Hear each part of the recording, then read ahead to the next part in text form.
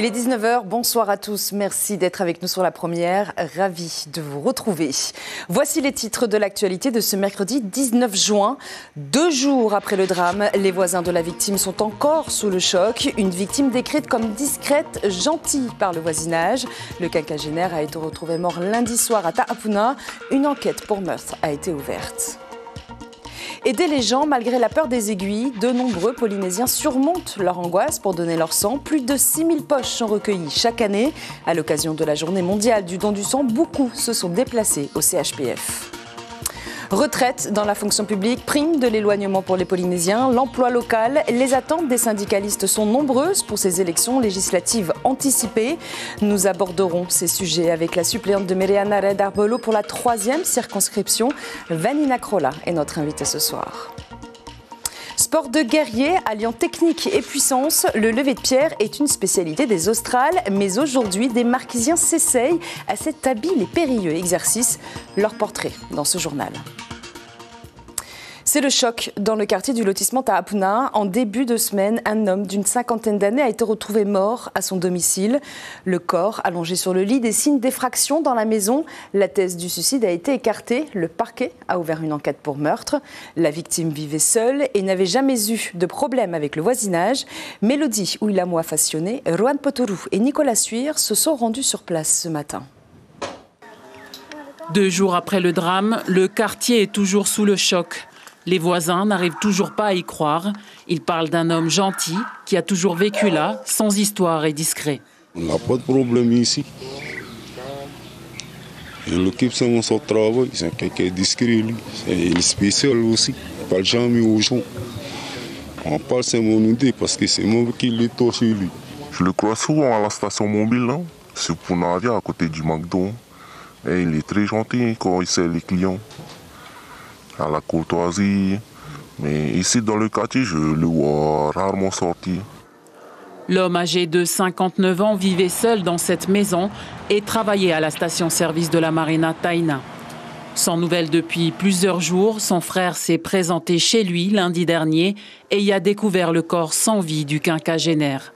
Le voisinage immédiat n'a rien noté de suspect ces derniers jours. N'a rien remarqué, n'a rien entendu.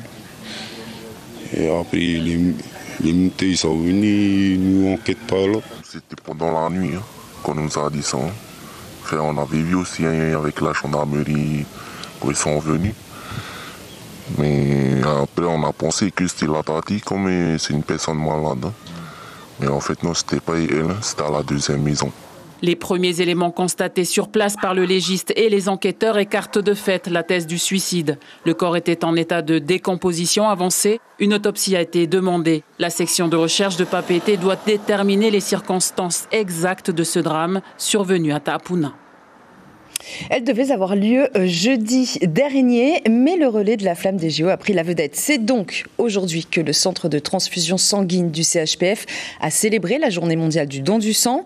La Polynésie est plutôt une bonne élève, elle est même totalement indépendante. Chaque année, des milliers de poches sont recueillies au Fénois grâce aux nombreux donneurs, Eya Eritayata et David Chang. Hirinaki est terrifiée par les aiguilles. Il faut la rassurer, l'encourager, ce n'est que la deuxième fois qu'elle fait un don du sang. Une étape difficile, mais elle a décidé de surmonter sa peur pour la bonne cause. Attends, je sers, je sers. ok Non, j'aime pas les piqûres, mais c'est pas grave si ça peut aider des gens, ça me va. Le message Voilà, le message Enfin, avec mon ancien don que j'ai fait en mars, euh, bah, le médecin a dit que j'ai pu aider quelqu'un euh, il y a deux semaines. Donc euh, du coup j'étais super contente. Donc euh, voilà. Si ça peut aider des gens, on aide des gens. Heureusement pour elle, seulement une poche sera prélevée aujourd'hui. On va lui prendre 420 millilitres. Voilà, les poches, ça va de 420 millilitres, 450 ou 480 millilitres maximum. Et ça, c'est le médecin qui définit la quantité, en fait, en fonction de l'entretien qu'ils ont eu euh, avant. Une fois remplies, les poches de sang sont envoyées directement dans ce laboratoire de préparation où les différents composants du sang sont séparés. Avec une poche de sang, on peut sauver trois personnes.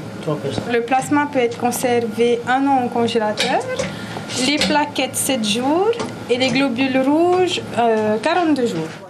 Leur durée de vie est limitée, alors pour éviter la rupture de stock, le centre de transfusion sanguine multiplie les campagnes de sensibilisation pour les primo-donneurs. C'est la première fois et euh, c'est euh, une amie qui, euh, en fait, m'a envoyé un, texto comme quoi elle avait, qu'il fallait en fait faire un partage de dons du sang. Aujourd'hui, la Polynésie française est complètement indépendante dans ce domaine et c'est grâce à des donneurs réguliers et aux nouveaux donneurs. C'est un plaisir de venir travailler tous les matins, de rencontrer ce peuple généreux qui donne pour eux leur fénois. Et également, la dernière fois, on a exporté du sang en Calédonie, car la Calédonie était en très très grande difficulté, en très grande souffrance, et la Polynésie a donné 60 poches pour la Calédonie. Chaque année, c'est plus de 6000 poches de sang brut qui sont recueillies au Fénois pour sauver des vies polynésiennes. Et on ouvre notre chapitre politique avec les législatives.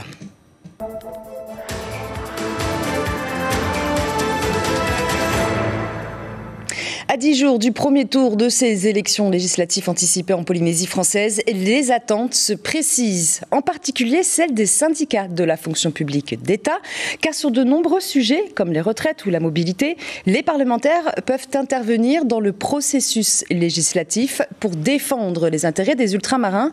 Le point avec Maroki Dury et Marcel Bonneau. Actuellement, près de 500 fonctionnaires d'État attendent leur retour définitif au Fénois. Des surveillants pénitentiaires, des policiers, des agents de préfecture qui ne sont pas prioritaires pour un retour à la maison. Le système français actuel ne favorise pas cette option. Autre injustice pour les syndicats, la prime d'éloignement des fonctionnaires dont la réciprocité est toujours attendue. Pourquoi nous, lorsqu'on va en France, on n'a pas droit aux indemnités que euh, lorsque les, les, les, viennent chez nous, ben, ils ont double, double indemnité. Donc c'est déjà une rupture d'égalité. Ce n'est pas de dénoncer euh, ces collègues-là qui viennent chez nous, mais c'est surtout de dénoncer le système que l'État emploie dans tout l'outre-mer. Le sujet des retraites est aussi au cœur des préoccupations des syndicats de la fonction publique. Avec le remplacement de l'ITR par la CVR, la cotisation volontaire de retraite, le fonctionnaire d'État à la retraite en Polynésie perdrait énormément de points sur sa pension par rapport à un collègue de métropole. Pour les syndicalistes, les parlementaires se doivent de soutenir ce combat. Premier point, c'est augmenter le plafond des 4 000 euros pour se rapprocher des 75 le second point, c'est que l'État puisse avoir une participation euh, supérieure à l'agent.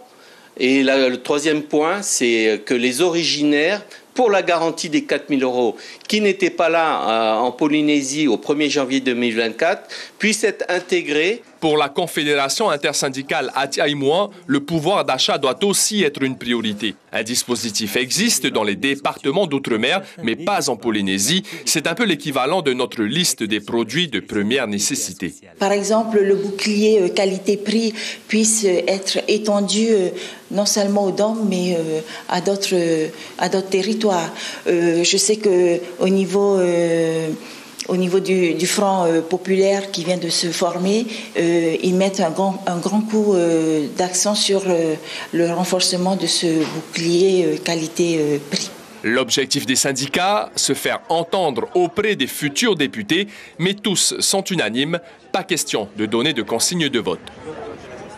Et la campagne pour les législatives bat son plein. Les 13 candidats ont moins de deux semaines pour convaincre les électeurs. Vanina Krola, suppléante de Meriana Redarbelo pour la troisième circonscription, qui, je le rappelle, comprend Fa'a, Punaoya et les îles sous le vent. Et notre invité ce soir, Yaorana. Bonsoir Suliane. Merci beaucoup euh, d'être avec nous. Ce soir, vous êtes avec nous, mais euh, la tête de liste, Meriana Redarbelo, est à Wainé pour un meeting. Est-ce que c'est ça euh, la stratégie pour cette campagne express, se multiplier pour essayer de couvrir toute la circonscription 3, euh, être partout en quelque sorte? Exactement, c'est exactement ça. On, est, on utilise à la fois les moyens modernes de communication, mais en même temps, on est sur le terrain. On était hier soir sur le terrain à, à, et à Punavia, et on sait que nos comités, nos comités dans les... Dans tous les, toutes les communes de notre pays sont mobilisées sur le terrain, et du porte-à-porte tous les jours pour appeler tout le monde à venir déjà voter le 29 juin mm. et, à voter pour nous, bien sûr, puisque c'est la meilleure équipe.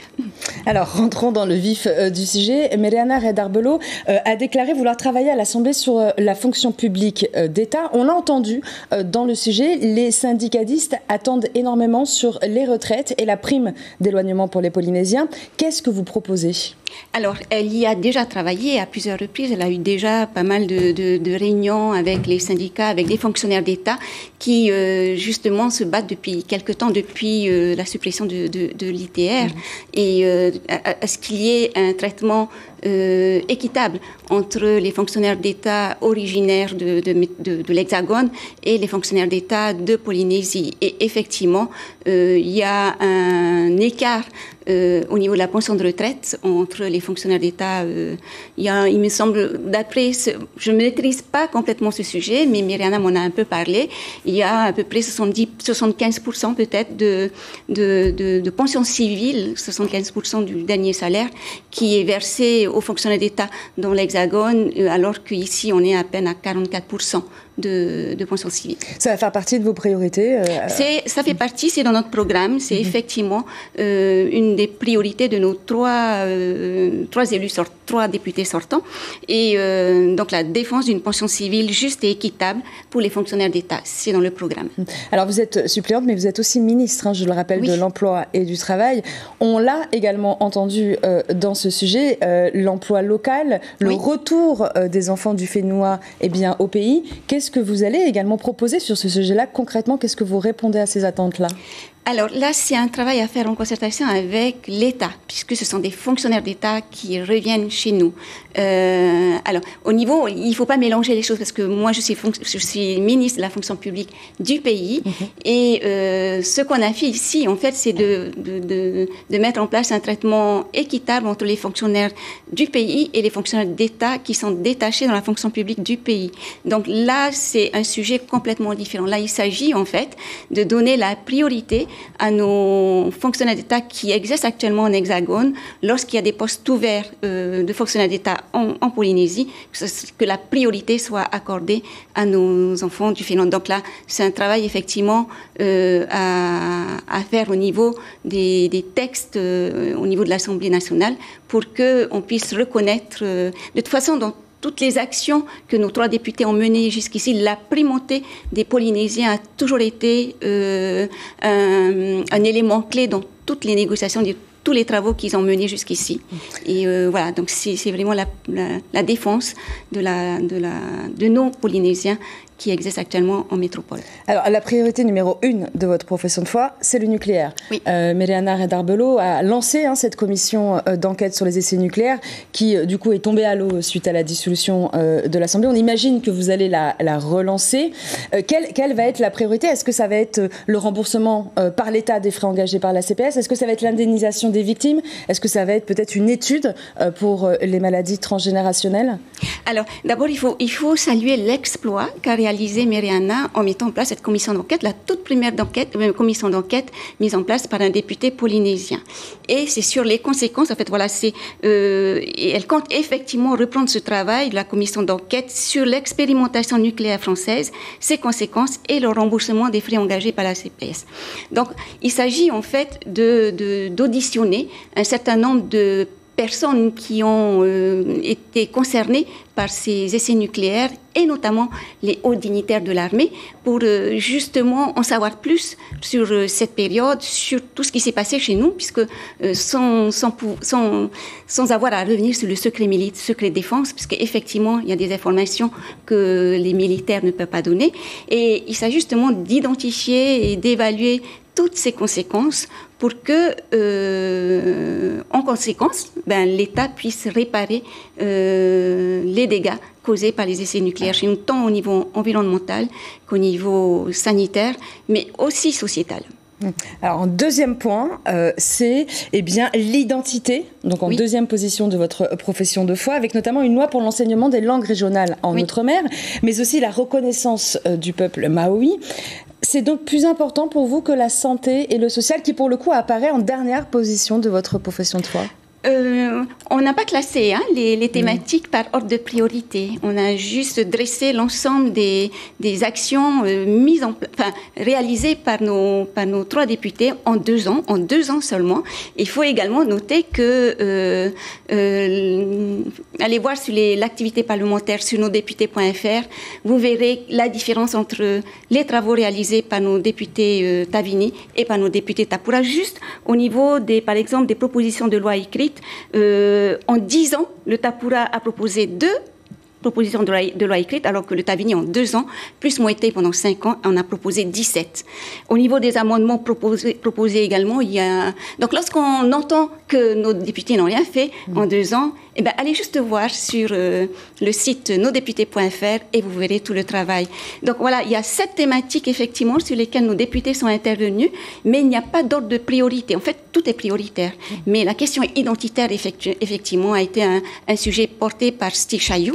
Euh, c'est son domaine de prédilection et euh, il a pu d'ailleurs mettre en place, comme on peut le voir sur la profession de, mm-hmm. de foi, la loi votée sur l'enseignement des langues et cultures régionales Outre-mer. Merci beaucoup, Mavine Nakrola, d'avoir été avec nous ce soir. Et demain, les candidats de la circonscription 1, Thémateuil Le Gaï du Tavini et James O du Rassemblement national seront les invités café de nos journalistes à 7h et 7h30. C'est la fin de ce chapitre consacré aux élections législatives. Je rappelle que le premier tour a lieu le 29 juin en Polynésie.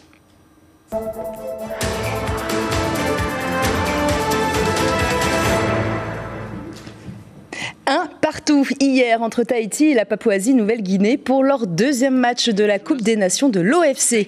Tahiti devra donc impérativement gagner contre les Fidji vendredi pour espérer se qualifier pour les demi-finales. Tahiti, je le rappelle, fait partie du groupe B avec les Samoa, Fidji et la Papouasie-Nouvelle-Guinée. Et ce sont les Fidjiens qui sont actuellement en tête du classement après deux victoires écrasantes contre les Samoa et la PNG. Sa beauté lui a valu le titre de Miss Tahiti puis Miss France. Mais Mareva Georges n'est pas seulement une beauté, elle est une femme engagée. Ce soir à 19h30, Polynésie la première vous propose de suivre son engagement auprès des plus démunis, mais aussi de partager avec elle ses souvenirs et expériences tout au long de sa carrière. Voici un extrait du documentaire réalisé par Sophie Castrin et Lionel Boisseau. Les Polynésiens ne l'ont jamais oublié et chacune de ses sorties dans les rues de Papété ne passe jamais inaperçue.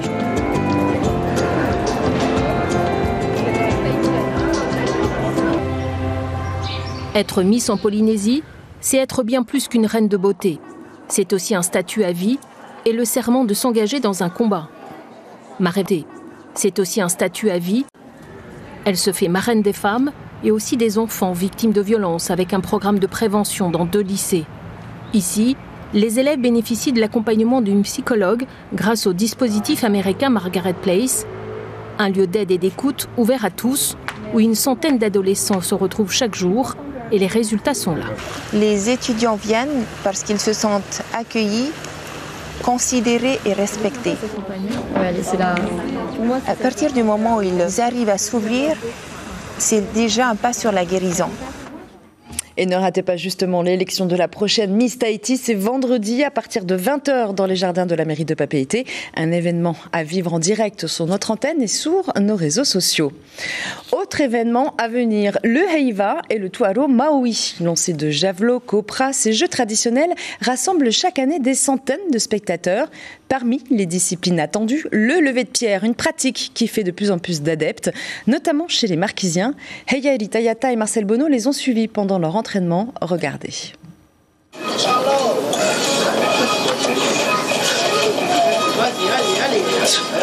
113 kilos. C'est la première fois que Cédric porte une pierre aussi lourde.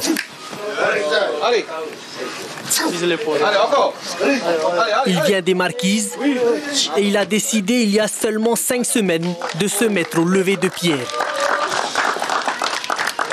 C'est un sport euh, qui m'impressionne hein, de voir les Polynésiens comme ça soulever des, des gros cailloux. C'est un sport de guerrier. C'est différent. Il faut. C'est un mélange entre technique, entre puissance. Voilà, c'est un, un beau sport. Euh, c'est les Polynésiens. Voilà. Son ami Kevin commence lui aussi.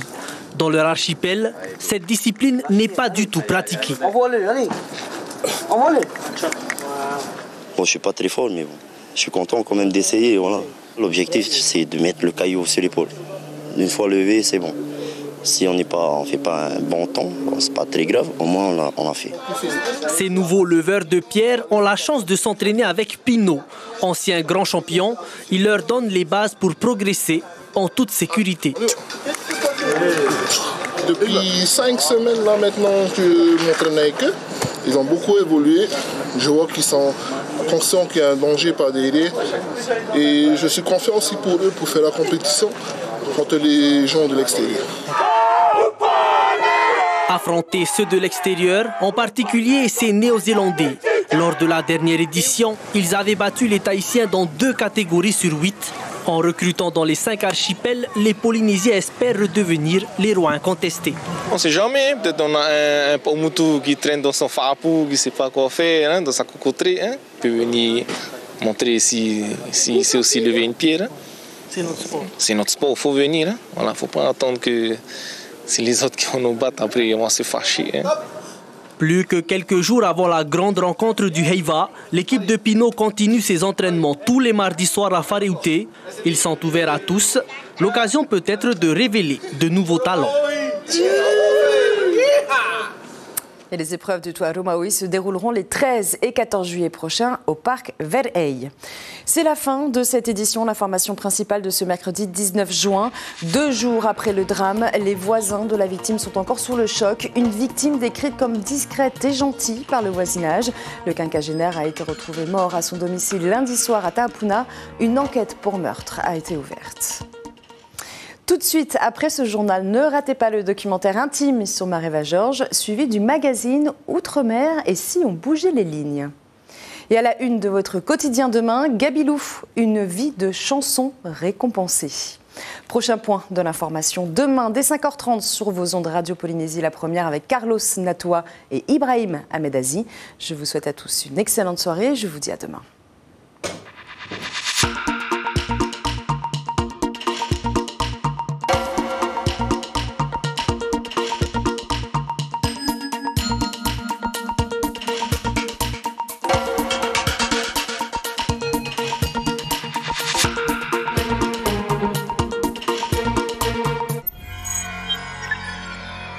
Ce programme en replay sur notre site internet